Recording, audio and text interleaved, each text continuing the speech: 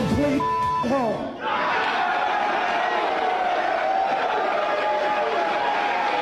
I'm horrified to be here.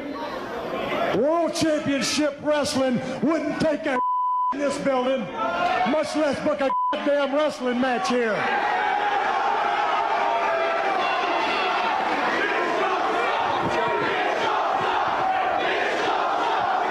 The fact of the matter is, I appreciate the fact you had to whip somebody's ass. You had to kick somebody's ass, not lick it to get a damn championship belt. Down in Atlanta, you couldn't get because I didn't operate the right way.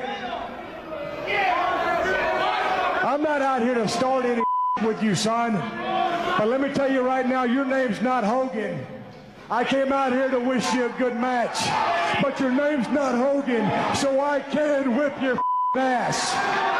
Good luck.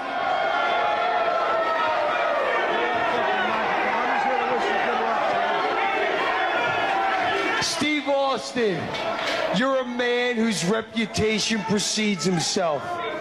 Anytime, anywhere, I'm the extreme heavyweight champion. If you want it, come on and get it. Right. Good luck, champ. Good luck. Come here. I'll tell you right now, I think you're a hell of a kid. But I ain't going to shake your damn hand because you don't deserve to be in the same ring or building with Steve Austin. You're a good kid.